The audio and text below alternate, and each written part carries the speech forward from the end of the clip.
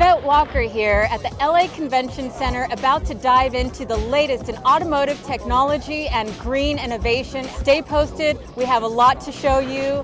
Very exciting stuff.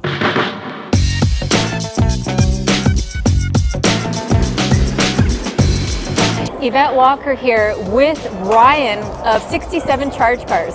When I saw this car exhibit, I immediately recognized the iconic Mustang body. Please talk a little bit about what you have today for us. Yeah, so uh, our company's Charge Cars, and this is the 67. So it's based on the, the iconic design of the, of the 67 Fastback, but it's a brand new car. It's not a resto mod, it's not a Dynacorn shell. Brand new steel shell with uh, carbon fibre doors, fenders, hood, trunk to try and, try and keep the weight down. So we got all-wheel drive, four electric EV motors, with 535 horsepower and 1120 foot-pounds of torque. Oh my goodness. So we got plenty to play with. Um, 525 horsepower. What is the weight of this car? So just under two tons at the moment um, with the battery weights. Um, but yeah, we're working on, on getting that even lower if we can. Oh my goodness. Um, so yeah, we've, we've kept the, the sort of synonymous features of, of a 67 Mustang with the rear triples here um, and you know this the elegant sort of design. The whole body shell's been resurfaced as well. Um, any imperfections and joins and that we've really worked on. Um, so this is this is still one of our prototype vehicles, but we'll be going into production um, in the fourth quarter of 2023 is when the first uh, customer vehicles will be delivered. So you're taking orders today? We are, yeah, we are, yeah. And okay. those, those slots are filling up pretty quick. Uh, okay. We've had a lot of interest, so we just debuted this car at the Petersen Museum a couple of weeks ago. I love the body style. I love the iconic silhouette and sleek lines of the Mustang. Just gorgeous. Fabulous Ford Mustang, uh, you know, homage to uh, on behalf of 67 charge cars. And so how long do these charges last and how do you um, allow consumers to uh, purchase um, systems to charge their vehicles? So we're, um, we run CCS charging for this car. Uh, we can do 50 kilowatts um, DC and 22 kilowatts AC. The mileage at the moment is around 200 miles quoted, um, but we're still working on the software to sort of uh, develop that as the battery technology moves on. Wonderful. And so, what can someone expect to pay for one of these beautiful EV67 charge cars? So, as, as it's very bespoke and hand built, um, we're only making 499 of them as well. Delivered to the US is around 450 US dollars, and that includes the shipping minus any taxes to pay.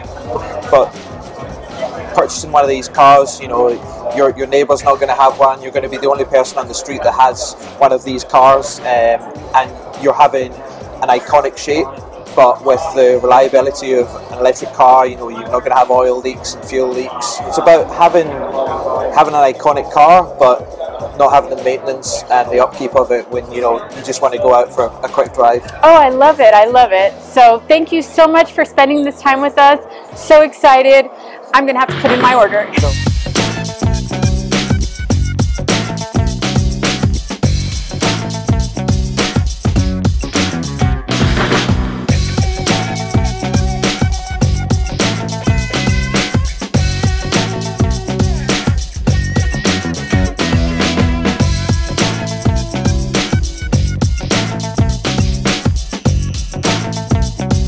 Right, Yvette Walker here at the Lexus Explore exhibit with David. Thank you so much for making the time to talk to us about this new 2022 LC500 convertible. My pleasure. Welcome to Lexus.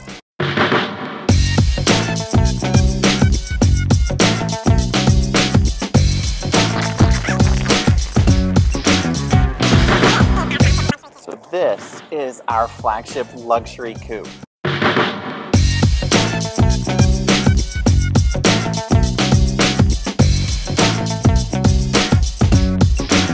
Chance to go to a dealership and actually drive this baby because you will not be disappointed. I heard it's got a very throaty, strong roar under yes, the hood, yes. and that's all because of the V8. Correct, yes. Uh, the sound, as I mentioned, is part of that exhilaration. The love of driving is really at the heart of what Lexus loves to develop. Um, Akio Toyoda is himself a professional driver, and so the passion of driving still is woven into the experience our guests have. I love it. And so tell us a little bit about this design because I noticed that is a coupe, but it's kind of a larger coupe, a roomier coupe, a, a you know, obviously a very fast and powerful one. Um, but I love that it's a convertible as well. Please talk about its position in the market in relation to other convertibles. So this is called a uh, luxury touring coupe. So it's not trying to be a pure sports car.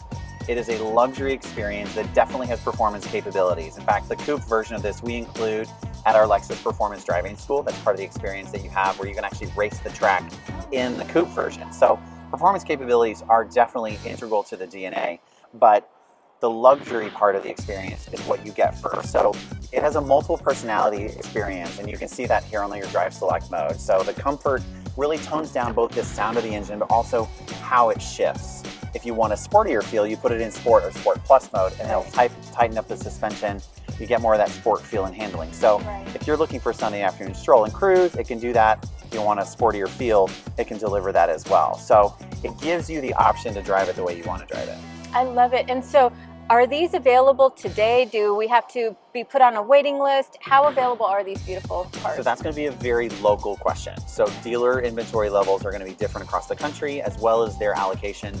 Um, so I always encourage a guest, talk to the dealer in your area uh, because how they handle their business is going to be unique to them. Right. Um, so I definitely can't answer for them, uh, but we are still producing these. So okay. that should encourage some people. Now you're talking about it is a coupe, it is a larger coupe. Um, when it comes to a coupe, you know, storage is important and this is a convertible. And so the top goes up or down in 15 seconds at 30 miles an hour or less. You do not have to stop to pull over to put the top up and down. The controls are right here at your fingertip. So it really allows you the versatility of um, if you put the windows up, you eliminate a lot more air. You put them down, you get a little bit more circulation.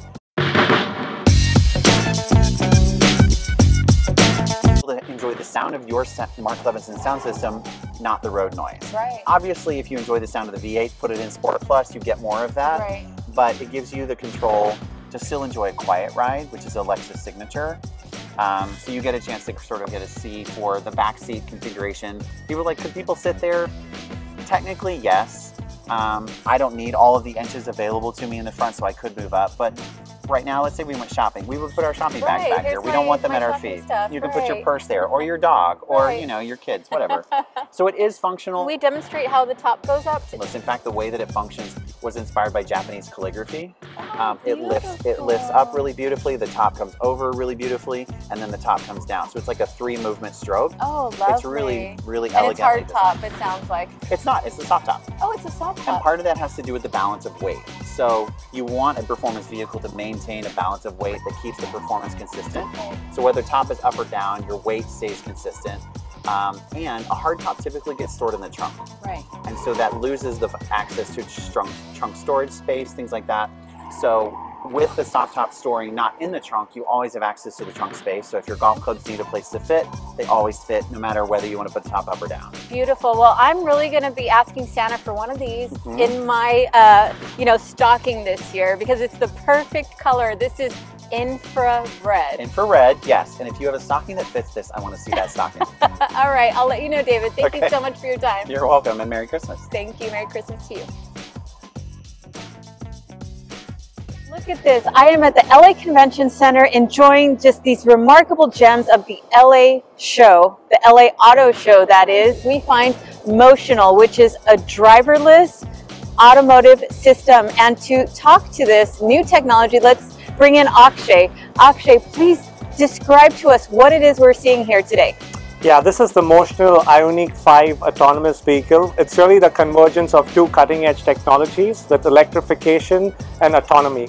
So what you see here is a baseline Ioniq 5, which is integrated with key technology. Uh, Motional is a 50-50 joint venture with Hyundai.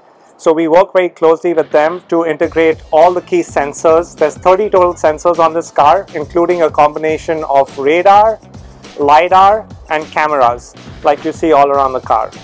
And that is remarkable. And so you mentioned that this technology right now is available in Las Vegas, and you recently announced that you were bringing it here to Los Angeles. That's right. Please talk about your track record and how many millions of miles you've had without at-fault incidents. Right. We've offered over, we've driven over 2 million miles without any at-fault incidents and offered over 100,000 passenger rides. That is remarkable. And so what do people say about their experience in a basically a driverless vehicle, an autonomous vehicle that's taking them from point A to point B without, you know, them having to even look up and, you know, away from their phone while they're working or typing or, you know, making those phone calls.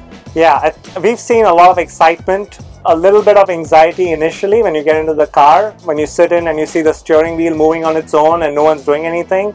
Uh, that's a little spooky to some.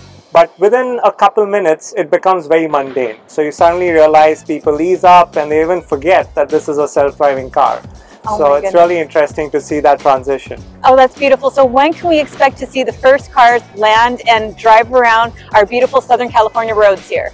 Yeah, we are live in Vegas with Lyft, so you can actually hail a ride and it's available on the Lyft platform to take you down from a casino to the other on the strip. Uh, we just announced that we are now expanding that partnership and LA is going to be our next market. Uh, stay tuned for when that's going to be. Oh my goodness, that is so exciting. So you heard it here. Watch out for Motional when they're going to come and bring, uh, you know, partner up with Lyft and bring your food too, because I understand you're doing a partnership with Uber Eats as well. Right, we are live on the Uber Eats platform. We launched in May of this year. Uh, we are offering deliveries with certain merchants in the Santa Monica area where you can actually order food like you do today on Uber Eats and you may get matched to a driverless vehicle to bring your food.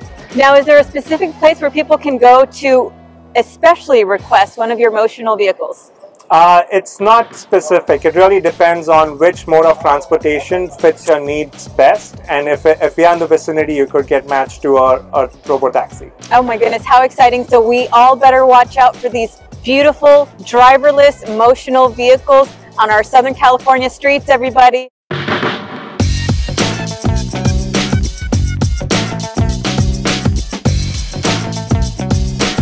Hi, I'm Yvette Walker. I'm here at the Toyota exhibit with my friend Thomas. Thomas is Hello. here today and he's going to be giving us the rundown for the new 2023 Prius. And when we say it's new, just wait to hear what is new about it.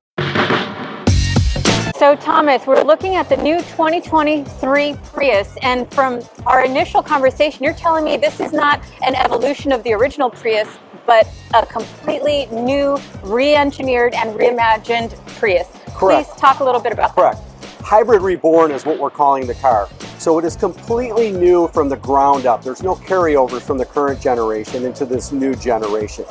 Um, we really focused on appealing to a new audience, a new, we want to bring in a younger buyer, introduce them to the Prius brand. Additionally, the vehicle has a new streamlined design. So it's two inches lower overall height, it's one inches longer, and it's one inch wider. We've also increased the horsepower from 121 horsepower on the, on the current generation to 194 horsepower on the front wheel drive version. And we do have all wheel drive available on all grades on the Prius, and that will have 196 horsepower. Beautiful. Can we step in and Absolutely, continue please our be my guest. conversation? I'll move over to the passenger seat. Alrighty, Okay. thank you. I'll meet you there.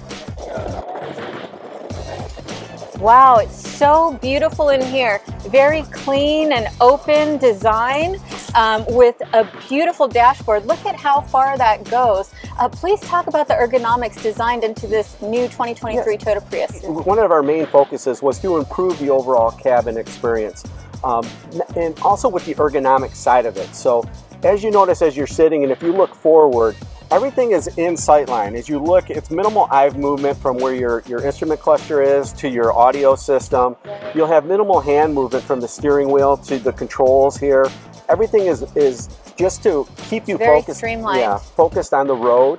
Uh, while the vehicle is two inches shorter overall in, in height, the, the way with the new uh, platform design that we're on, you're actually sitting two inches lower than the current generation as Oh, well. So there's ample headroom in the front seats for a larger size passenger.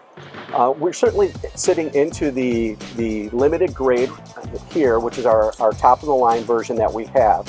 Uh, one of the other little neat features I'd like to point out is we can't see it because the electricity's off, but there's an LED strip here. This LED strip carries around here, it carries around to the side. I see. This is linked to the Toyota Safety Sense system. Under certain circumstances, such as when you're sitting at a traffic light and you may not be focused on what's happening ahead of you and a car begins to lead, it'll actually blink and tell you. Oh, hey, wow. try and get your attention, let you know that right. it's time time to move. Oh, very nice. So it's a, it's a built-in system that's going to alert you as to you know what's happening around you. Correct, correct. Safety is a key uh, component in every Toyota vehicle. It's a big focus.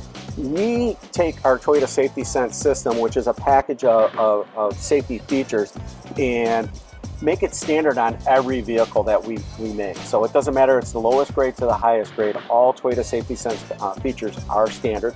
This vehicle here will have our new uh, Toyota Safety Sense 3.0, uh, which is our most up-to-date, most recent uh, package of safety systems and features. Beautiful. So what are the different options of this car as we go into 2023 and what are the price ranges that we're looking at? Well, pricing hasn't been released. That'll come sooner and closer to retail. We do offer the vehicle in three grades. We're going to start with an LE grade, which is the base grade. That will actually have fabric interior. Then we're going to bump up to the XL, or XLE grade, which is one below this, and then that'll be the mid-tier grade. We'll have the limited grade as we're sitting in here with the upgraded Softex heated and ventilated front seats. Uh, the the mid-tier grade will also have Softex seats, but they're not heated and ventilated as, as they are here as well. Um, outside of options, we do have a limited number of options available. However, once again, we're going to continue and share those as it becomes closer to retail at this point. Beautiful. And so what is the feedback that you've received so far? I know it's media day, but what are some of the, the feelings and uh, reactions you've had in response to the new Prius? Overwhel- overwhelmingly positive. People uh, have really been open and honest about, about the vehicle. A few of my favorite quotes were uh, somebody had said, uh, Prius has finally grown up. That was a comment I got Oh, last wow. night at the reveal. And I had, I was standing here off to the side today listening. Two other journalists walk up, and the one said, OMG, and the other one said, amazing. And I turned to them and I said, Of course, I love to hear that. of course. so of we're, course. we're very excited about the vehicle. Beautiful. So when can we expect to see it on the lots at dealerships next year? Uh, so for the Prius, we don't have an exact date, but we're saying January. For the Prius Prime, the plug-in version, uh, springtime. Beautiful. That's the best I can do. And so what is the driving range of this one? So this particular vehicle, the my MPG is on the LE front-wheel drive version is 57 combined. We're not uh, providing the individuals at this point. So that's a bump up of three miles per hour, or three miles per gallon over the current generation as well. Alrighty, well this is a beautiful vehicle. I love seeing brand new reimagined technology, Yeah. especially for Toyota. Thank you so much for sharing that with us today, Thomas. Thank you for having me. It's a pleasure speaking with you. Alrighty, thank you. You know, we've been walking by this car and we're trying to figure out what is it? Is it a Jaguar? Is it a Thunderbird? Right? That's what I thought it was. I thought it was a Thunderbird. It looked like a Thunderbird to me, but we were surprised to learn that it is A classic. They call it the Cosmo, one of those 70s cars that, you know, didn't make it big back in the day, but it was revolutionary. And why was it revolutionary? because of the rotary engine, and that's what allowed the technology to take off. Well, you know, that's what makes this show so exciting. Not only her being with me to talk about these things, but I'm going to let her walk around the car and let her see some of the classic old stuff that, you know, gave cars back in the day life. But today we've been very, very surprised with the new, uh, taking hints from the old with body styles. Yeah. And now uh, this one as the inspiration for what we have today. what they call a mash. No, I don't know. They call it now mash because everything's mashed up Yes. nowadays. They're you know they're taking bits and pieces from things. But I'm gonna follow you, and you tell Let's me what you think about this car because you know we can talk about all of it. But tell me, describe the car to people because uh, you thought it was a Thunderbird, and why'd you think it was a Thunderbird? I thought it was a Thunderbird just based on the silhouette. And so the Thunderbirds that I have become familiar with growing up are, you know, two door sporty coupes with either a hard top or a rag top uh, convertible style and very very similar to this however um, the the thunderbirds in this body style were more um, on the time of the 60s i would have to say and so this again is the 72 mazda with just a beautiful sleek Wait, wait, wait, wait, wait. Hold that thought. You said it was a what? It is a Mazda. Can you believe it? I was surprised. Wow, who knew back in the day Mazda made these cars? And you know, that was the Asian influence coming in with tiny cars, and people would say, Why do I want a tiny car? It's America. We want big cars, metal cars, heavy cars. And gasoline was cheap back in the day, 25 cents at the most. Uh, I'd hate to say what it is in your neighborhood. Yes, we don't want to talk about that today. We don't want to talk about the cost of gas, which is why the electric vehicles are so popular today. But as you look around, you can see the classic, you know, the chrome finish, especially in the bumper. Um, just the details of chrome along the, the windows. It looks like it even has a cranking, uh, yes, a cranking window mechanism to pull the window up and down, just Wait, like wait, we wait. remember. Air conditioning by pulling the window up? Well, you know. That's how you get the air conditioning, right? That's how they did it. But no, just you can move the window up and down. And this version actually has a right side driver. So no way, yes, a right side driver. Look at this. All so right, just like in the movies, you know, a lot of if you look at the old movies in the '60s and '70s, uh, they're all about these right side drivers trying to figure out, wait, where are they at? You know, that, that aspect. But uh, you know, see if you can open the door. See Let's- oh, yeah, let's yeah. see. You got the key? no. Just try, try. a little Oh, I'm afraid this Push is the a button. classic. Push the button. Yeah. Oh, we got door that. open. We, We got, got a it door open. open. We have access, All right, so everyone. look at that. Look at this. And you see, uh, oh, it's this is a manual transmission with the emergency brake right there at the ready. Um, it looks like some form of maybe windshield wiper um, knob there, and you can see the dashboard. It looks very much like an aviation dashboard if you're looking at it. All the gauges and Well, yeah, the engineers back in the day were very, you know, functional and structural. So it Yes. wasn't. It was all about form, you know, straight lines and you know, as as mass production as we can get it. But you know, we're talking about beautiful cars. A question for you: How did you learn how to drive on a four stick? Because people, what's that? People have no clue what a what a four or a five is. As compared to now, you just put it in drive, and people are just actually having fun with that because they don't get to do anything. How did you learn? So I initially started to learn on a stick shift and then went into automatic, of course, because I do live in California and, you know, bumper to bumper traffic is not very conducive to a stick, at least not the way they used to make it today. And my understanding is that today it's a lot more smooth, a lot more functional, and a lot more um, friendly for the driver. So, I mean, I see this car and I'm thinking James Bond 007, right? And I'm so impressed and surprised to see it's a Mazda. It's gorgeous. Well, you know, come in at the picture. So now, well, now that you've seen the car, well, you get to see the wonderful Yvette Walker Bracone. I guess that's how you say it. Yes. Correct? Yvette Burcone Walker, yes. All right, so that's a guy for you. Know? I know it's in there. But, uh, you know, if you want to hear more about her every day or once a week, tell them where you're at. All right, so you can find me on ABC News affiliate Southern California Business Report on KMET 1490 AM, 98.1 FM, and KMET TV every Tuesday from 4 to 5. So do not miss it. You can stream it, you can hear it terrestrially, and you can pick it up on YouTube as well.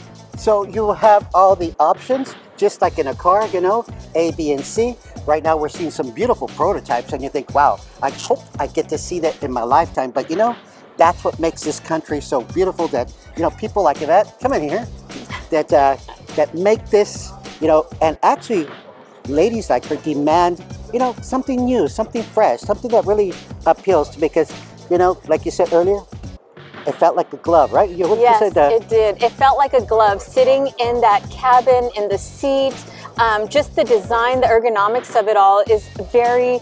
Um, it's just very fitting and it does feel like a glove. It feels like it was designed for you. You can tell the thought and um, just the attention to detail that went into the designs. And so it's very great to And if you find that. yourself in a Lexus in a red, infrared Lexus, Infrared, yes. infrared, and you need somebody to go down the coast and hear that big rumble, you know, you actually have three options for it to rumble. You could have the, the low version, the wait, what's that noise? And then it's like I'm here version, right? Right. So they have the sports package, the comfort package, and the luxury package. So you can, um, you know, drive it in any of those three settings for the driving experience you're looking for at the time, which is great. So you know, it's pretty much a, a beautiful day if you get a chance to come out this weekend here at the LA Convention Center because uh, it's the LA Auto Show, the last one of the year, and get to you know kind of touch it and feel it, and as press, but get to sit in it, and because of you know you can't turn them on, and uh, you know, for safety reasons, electricity and gasoline, uh, they don't mix in a building like this.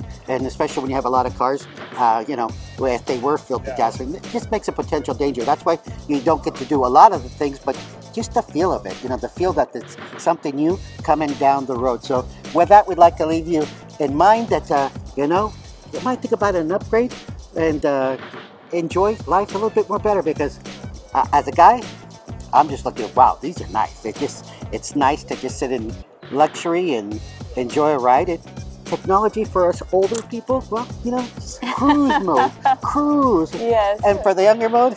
Oh, you know, when you're on the move, you're on the move and you want to feel that car grip that road. But, you know, and it's just in time for Christmas. So I hope everyone out there is filling out, you know, Santa's list. I already requested one of those Lexus convertibles in my stocking for Christmas. We shall see. But well, in any event. Stocking stuffer.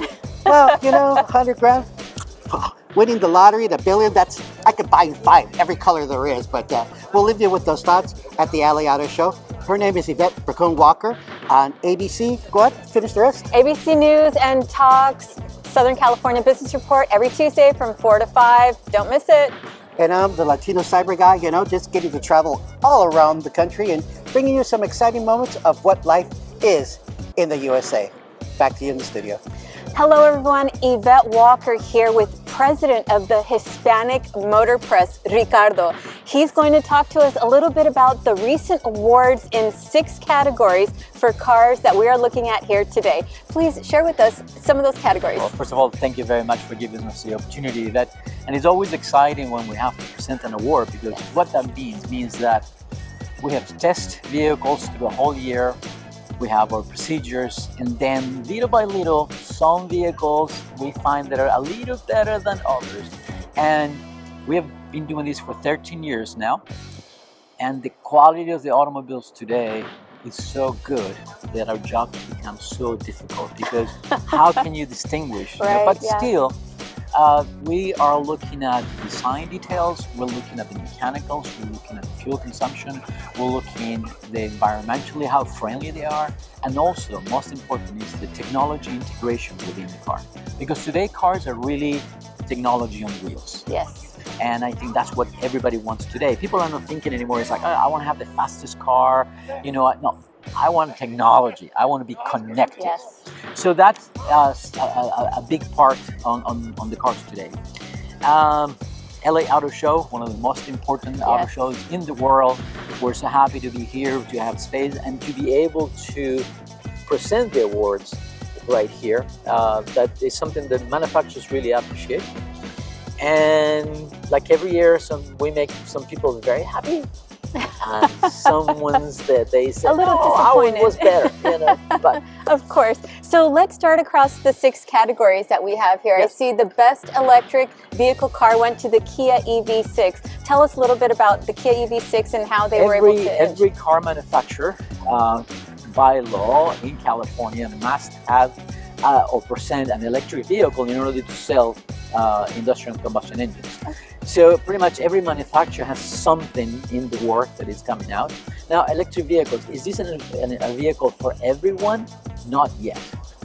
Why? Because we still don't have the infrastructure. Once we have that, then we have a lot more options. But for those that commute, you know, 20, 30, 40 miles, 50 miles a day, even 100 miles a day, the electric car of today is capable of doing that. You just need to make sure that you have the infrastructure either at home, at work, or somewhere when you can make fast charging work Right. for you. Right. And one of the things that I noticed here at the show was that um, there were vendors that were looking to bundle infrastructure packages along with the EV vehicles, which allows for solar panels to be sold alongside the vehicles as well as batteries and stations to dock their vehicles in and bundle those uh, with the purchase of their vehicle as well. We, we are in a transition period, right? So we're moving towards the electric car, but I don't think that that's going to be the only solution for our transportation needs because it's not the same to move one person in a vehicle from downtown LA to Santa Monica that take a truck from downtown LA full of tomatoes going to the Vallarta market in Santa Monica. That's a different completely different Right. of moving goods. Yes. So the dynamics, you know, everything is different. So I think there's a lot of technologies like fuel cell technology. It's come a, a long way. And I think there might be other ones that we still don't know. Yes. Something that is happening within the EV market is that we see new companies. Now we know that pretty soon the Apple car is going to come out. Sony is already making a car. Oh my These goodness. are companies that you would never think of, oh, you know, making cars. Right. TVs. No, that Sony's already making. So we have VinFast from uh, Vietnam presenting their electric vehicle. So I think that's why I think it's, it's an interesting period in history because there's a lot of changes coming and we still can't, you know, we don't know how it's going to be 25 years from now. But today, we did the testing for a whole year and we're very confident that if you're looking for an electric vehicle, the Kia EV6 is probably one of the best, if not the best, you know, I mean, we think is the best, but sometimes with design, you know, some Right. people like a little bit of design different. But uh, some there are some very, very good options like the Hyundai Ioniq uh, 5. Again, there are many, many choices. The other car that I was thinking about is the Kona uh, electric. So there are a lot of options today. We just need to make sure that before you buy one, an electric car, you need to think of do you have the infrastructure around it to make sure that you can charge the car at home? And then again, how much you're going to use it? How, how you're going to use the car? Definitely for long travel, I cannot recommend uh, uh, an electric vehicle. Right. So no cross country traveling with an electric vehicle. that will, I mean, you can do it, but plan out the plan out the charging stations ahead That's of right, time, that's right? right, that's and so I see another area is the um, technology uh, Yes. award went to the GM Super Cruise driver assistance feature. This well there's a, every manufacturer has a lot of technology to assist the driver to make sure that they don't get into accidents. I mean, we already have automatic braking, Right, meaning the car will stop by itself will. before hitting something, right? Uh, General Motors created this pro, uh, this system that is called uh, Super Cruise, and the Super Cruise is almost, almost completely autonomous driving. Oh wow. You can, once you're in the freeway, you can press the button and the vehicle will stay at the speed. It will even pass vehicles that are slower. It will change lanes. It will adjust the speed, you know, Oh. faster or slower.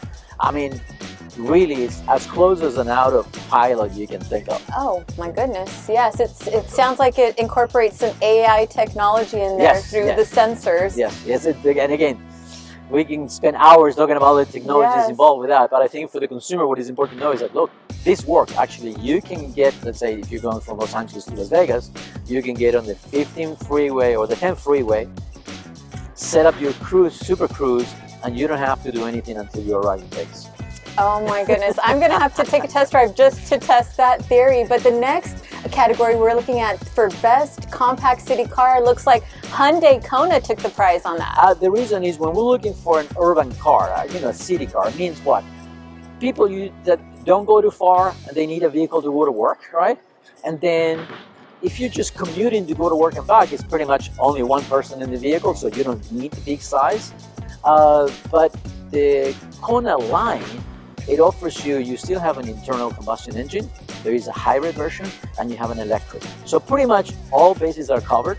Uh, it's very compact, very high uh, ranking on safety, very good uh, driver assistance system as well, uh, and it's proven to be very, very reliable.